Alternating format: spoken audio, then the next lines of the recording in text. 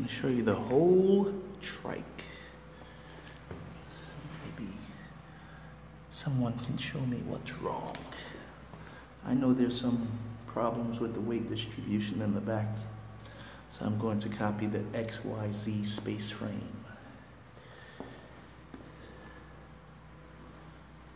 This is just for testing purposes, as well as this.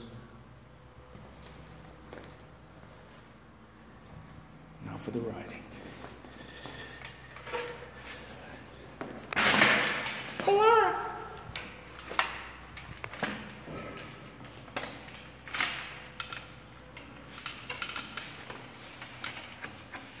And it starts to lock up.